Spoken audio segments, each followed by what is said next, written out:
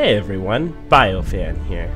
The Jaws of Hakkon is the first DLC released for the main game of Dragon Age Inquisition. Unfortunately, on first release, the DLC was exclusively available for Xbox One and PC players. If you've yet to play the DLC, I recommend you don't continue to watch this review until afterward, as there are spoilers. If you've completed the main game, but don't want to be exposed to DLC spoilers, feel free to check out my 41 minute review of Dragon Age Inquisition. Okay, let's get going. The main story starts out slow with fetch quests, but gradually builds to a climactic and rewarding ending. I particularly enjoyed how the separate plots of Avaran conflicts and finding the First Inquisitor's remains continuously intertwine and become joined in the conclusion. This way, you could just do about any quest at any time, and it would feel natural to the story progression. Jaws of Hakkon is a self-contained plot within a specific region of Thedas. You can play it prior to or after the ending of the main game. The new environment of Frostback Basin is gorgeous. Unique lighting, new plants and trees, and easily maneuvered with various paths. The environment continuously changes as you progress through the area's plot. Ice structures from a dragon, daylight changes from dusk to night, and a pretty aurora in the sky. The Inquisition's presence in the Frostback Basin is very well demonstrated. Large camps and patrols can be seen all around the area. The presence of the Inquisition forces was something the main game was lacking for most areas, so it's nice this has been greatly improved. This addition to an area really helps create the sense of leading a large and powerful organization. Treehouse camps are really fun and aesthetically interesting. Their high altitude allows for a good view of the surrounding areas. Plus, it helps keep you safely away from the enemies below. The elevators are also pretty fun and time saving. Though I just wish it wouldn't be lowered directly down onto a group of enemies. There are a few new enemies unique to the region, such as the Hakkonites, though I could have done with a lot fewer spiders. I couldn't go five minutes, it seemed, without being ambushed by a horde of spiders. Arachnophobes may want to exercise extreme caution when playing this DLC. Spiders everywhere! Ugh!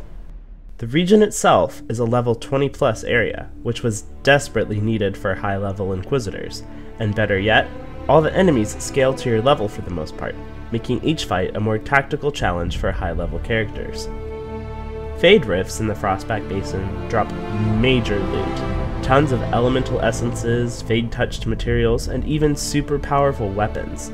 There are also a bunch of new materials, such as leathers, metals, and cloths, that can be found in the region as well. Frostback Basin has many very powerful weapons and armor to uncover, as well as a new Inquisitor specific ability, Aegis of the Rift. This new ability is super useful as it shields you from any and every projectile attack, including a dragon's fire, ice, or energy ball, and a giant's one hit KO rock throw. There's also some nice new Avvar themed decor available for you to use to customize Skyhold. Along with the quests in the Frostback Basin, you'll be able to unlock new War Table missions as well. Overall, the story was pretty slow until it got closer to the ending but there was a bunch of new lore introduced throughout the whole experience. My favorite part of the whole DLC was having a bear fight alongside you as an ally twice, both epic and downright hilarious. I also particularly enjoyed being able to save a little Nug from, well, yeah. Did I mention I love Nugs?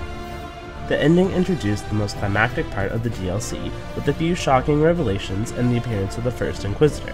The final push to the temple tied all of the previous events together, and was great fun as you fought alongside the allies you gained through the story progression. This was another feature the main game needed more of, as it strengthened the overall sense of leadership. The only part of the ending I didn't really enjoy was the warmth mechanism. Having to run back to a fire pit every 10 seconds or so kept the player from really experiencing the interesting environment. There are some pretty good Harding moments throughout the story, as she aids you in completing several quests. Harding was a very loved character that only becomes more lovable with more screen time. There are also several comical moments. Very well. I wouldn't want life in the hole to become unbearable. Many of which involve Harding. They don't see that a real normal man fought the Avvar and killed that dragon. And they certainly don't know about your strange fixation with Elfroot. My feelings for Elfroot are classified, Scout Harding. I'll carry your secret to my pyre. While Harding gets a good new amount of dialogue and involvement with the plot, the presence of the companions felt very lacking. Banter and occasional in-plot comments are still present, but none of them felt particularly invested in the story. None of them had strong views on any of the issues taking place, or a personal tie-in to the plot progression. While this isn't exactly necessary, it would have been a great touch to really make progressing through the DLC feel of greater importance. The main game has 10 awesome, tactical, and unique dragon fights. The DLC continues this tradition, but makes slaying the dragon much more imperative. I really enjoyed this dragon fight in particular because of its relation to the plot, but I also love the dragon fights in general. One of the biggest flaws of Jaws of Hakkon is that it lacks decisions.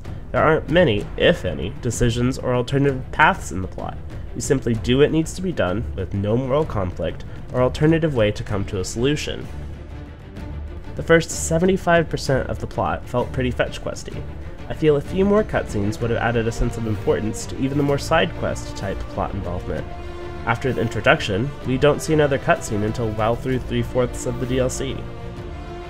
The price of the DLC, 11 British pounds or 15 US dollars, seems pretty high for 5 to 8 hours, or maybe even if you rush it, like 2 to 3 hours, of content. So now let's wrap up this review and stick a bow on it.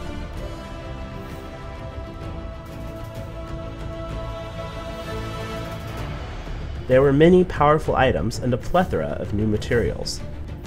The plot lacks decision points and alternative ways to reach a solution. The environment is breathtakingly beautiful, with several changing features as you progress through the DLC plot. The price seems a bit high for the amount of time you spend playing the DLC. The story builds to a very interesting ending, but starts out slow with several fetch quests.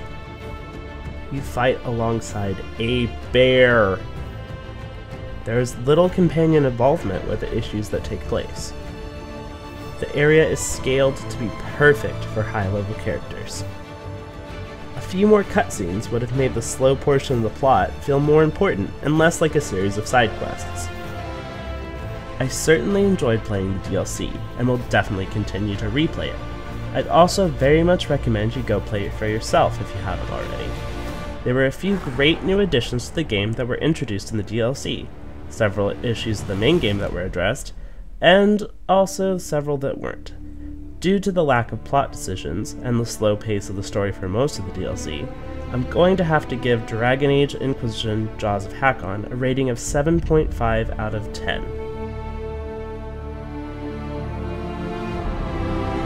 What did you think of the Jaws of Hakkon DLC? What were your top pros and cons? What would you like to see in future Dragon Age Inquisition DLC? Give me your thoughts down in the comments.